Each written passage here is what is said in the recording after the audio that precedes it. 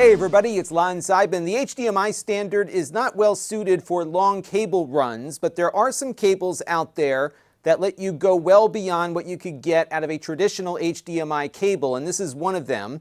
This is the iBirdie 4K fiber optic HDMI 2.1 cable. And what this does is it has a little fiber optic transmitter and receiver built into the connector. So it converts those electrical signals to light and then back again so you can go much longer distances. The one I have here is the 50 foot cable, but they have one that goes up to 328 feet.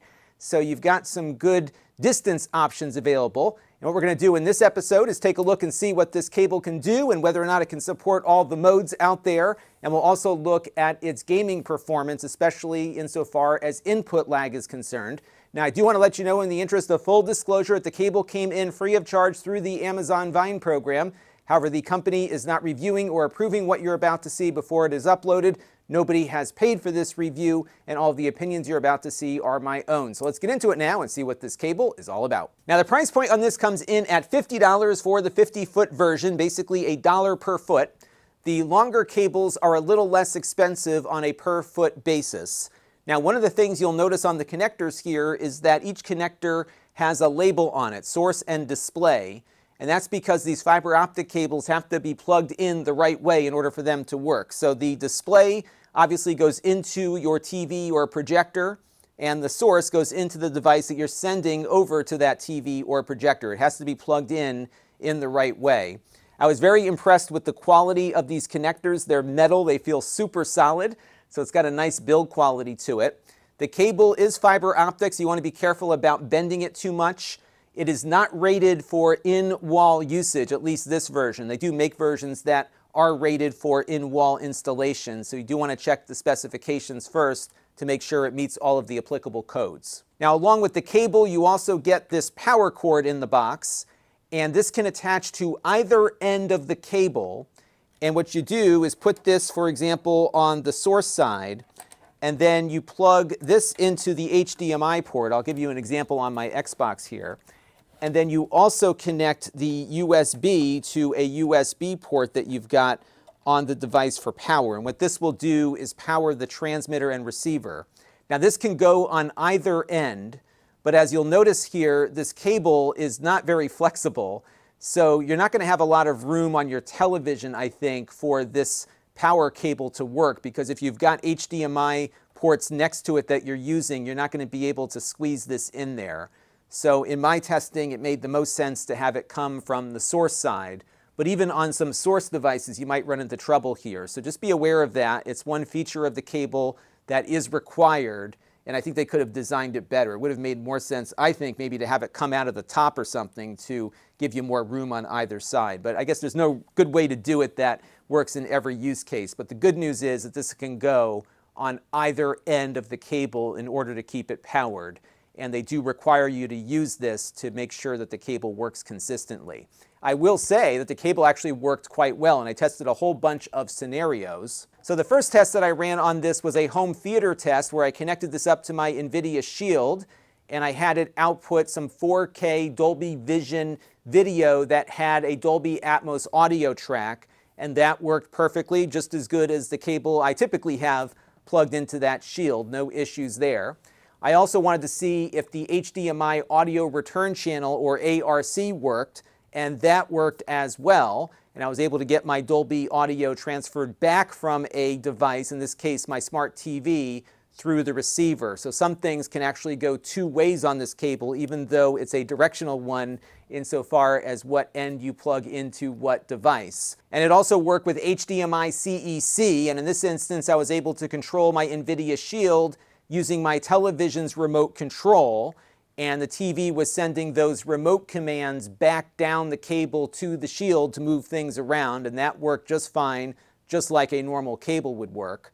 On the gaming side, I plugged in my Xbox Series S here that can work with variable frame rates at up to 120 hertz. I plugged it into my gaming monitor for that purpose, and it was able to successfully negotiate that. FreeSync was enabled on the display, and a game that I play on the Xbox that runs at a varied frame rate worked out just fine as well. My display unfortunately doesn't give me real-time statistics, but the Xbox was able to switch itself into that mode successfully and everything got detected properly as well. Now I tested input lag on the cable with my Analogue NT Mini NES clone console here.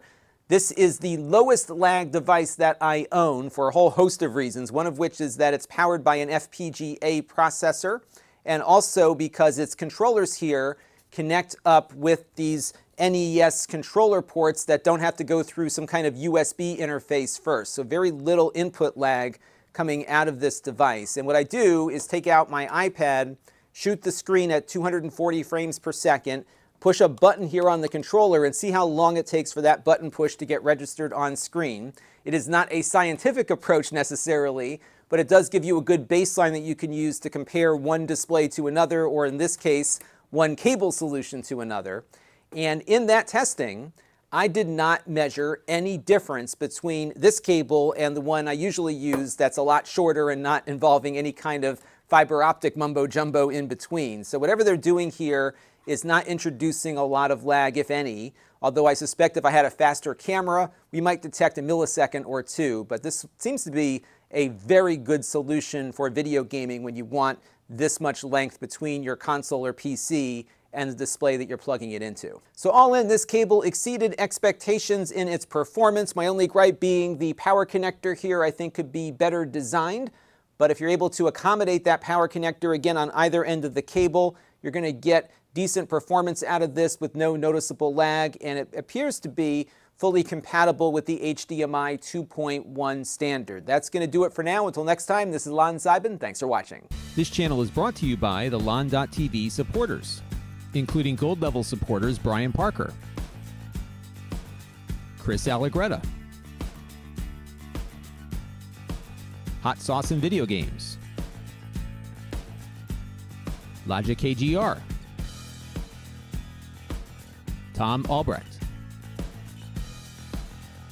and Amda Brown. If you want to help the channel, you can by contributing as little as a dollar a month.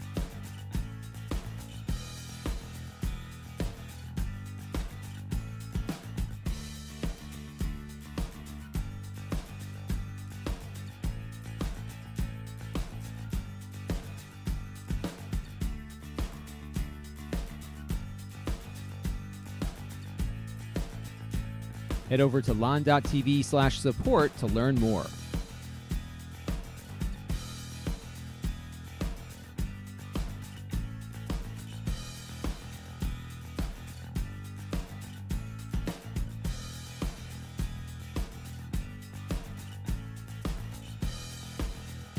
And don't forget to subscribe. Visit lon.tv slash S.